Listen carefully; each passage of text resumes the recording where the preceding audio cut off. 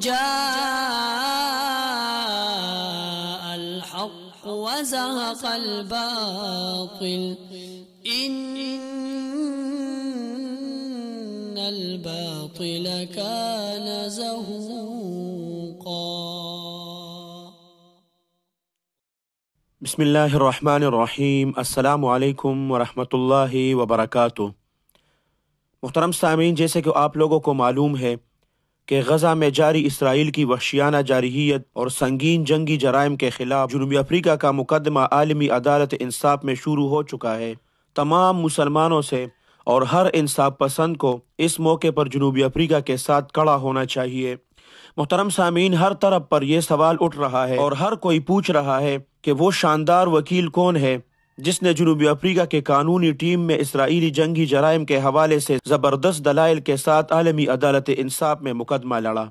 تو وہ بھی آپ لوگوں کے ساتھ شیئر کرتے ہیں۔ محترم سامعین جنوبی افریقہ کے اس بہادر خاتون کا تعارف کرواتے ہیں آپ سے، جو غزہ کے مظلوموں کا مقدمہ عالمی عدالت انصاف میں لڑ رہی ہے۔ یہ خاتون جنوبی افریقہ کی ٹیم میں واحد مسلمان ہے۔ جنوبی افریقہ میں ڈاکٹریٹ کر رکھی ہے۔ اور انتہائی سمجھدار دانشور ہے۔ ان کا نام عدیلہ ہاشم ہے، جو جنوبی افریقہ کے شہر ڈربن سے تعلق رکھتی ہے۔ عدیلہ ہاشم جنوبی افریقہ کے ایک مشہور وکیل ہے، جو آئینی حقوق اور سماجی انصاف کی اصلاحات میں کردار ادا کرنے میں مشہور ہے۔ محترم سامعین، اس نے دو ہزار دس میں غیر منافع بخش قانون کے مرکزی سیکشن ستائیس کی مشترکہ بنیاد رکھی جہاں وہ مفاد عامہ کی قانونی چارہ جوئی پر توجہ مرکوز کرتی ہے۔ خاص طور پر پسماندہ کمیونٹیز کے لیے صحت کے دیکھ بھال اور تعلیم سے متعلق شعبوں میں عدیلہ نے کئی اعلیٰ درجے کے مقدمات میں اہم کردار ادا کیا ہے۔ بشمول لائف ایسڈ مینی سانحہ، جس میں ایک سو چالیس افراد ہلاک ہوئے۔ وہ کہتی ہے کہ انیس سو نوے کے دہائی میں ہیبرون کے قتل عام کے بعد سے اس مسئلے سے تعلق رکھتی ہے اور کہتی ہے کہ فلسطین میں نسل پرستی جنوبی افریقہ میں نسل پرستی سے بھی بدتر ہے۔ دو ہزار چودہ میں عدیلہ ہاشم نے جنوبی افریقہ سے اوپن مارٹر سٹریٹ تنظیم کی ایک وفد میں شمولیت اختیار کی، جو غاصب سہیونی کے آبادکاری کے خلاف کام کر رہی ہے۔ عدیلہ ہاشم بہت پڑھی لکھی ماہر قانون ہے انہوں نے قانون میں اعلیٰ ڈگری حاصل کر رکھی ہے اور جوڈیشل سائنسز میں ڈاکٹریٹ کی ڈگری بھی حاصل کر رکھی ہے۔ عدیلہ ہاشم کو جون دو ہزار تین میں جوہانسبرگ بار ایسوسیشن کی رکنیت ملی۔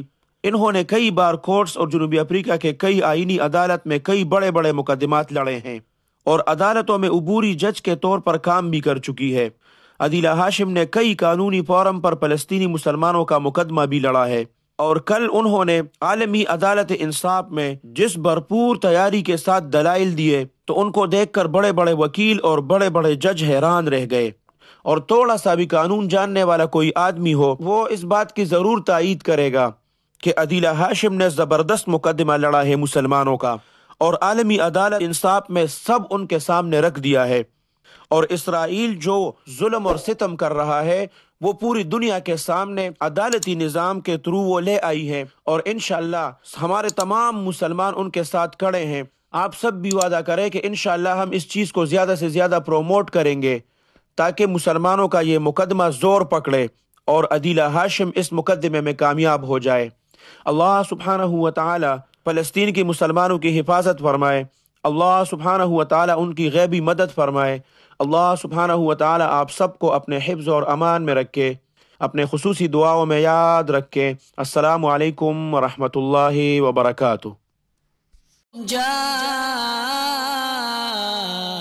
الحق وزهق الباطل۔